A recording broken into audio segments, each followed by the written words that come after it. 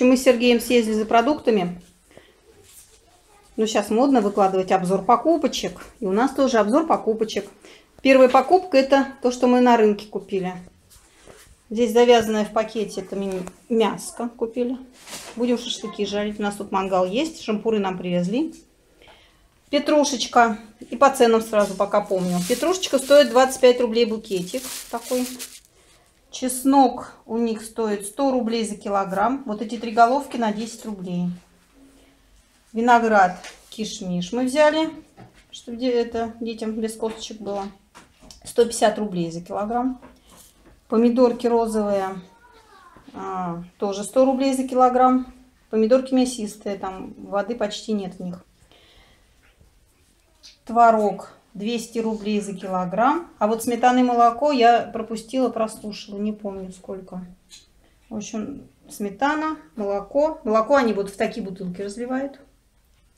Hand бутылочка.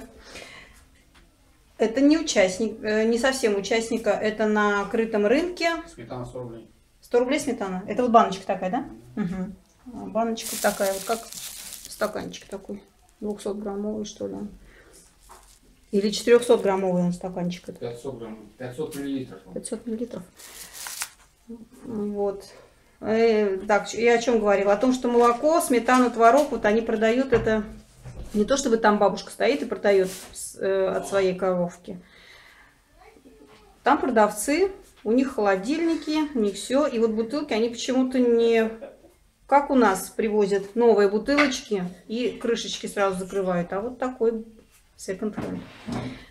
Яблоки тоже 100 рублей за килограмм. А груши я тоже не, не прослушала. Сереж, груши не помнишь сколько? 130, по-моему. 130. В общем, груши сказали, что местные. Потому что конференц, например, груши мы у нас купим. Зачем она нужна? Огурчики 65 рублей за килограмм.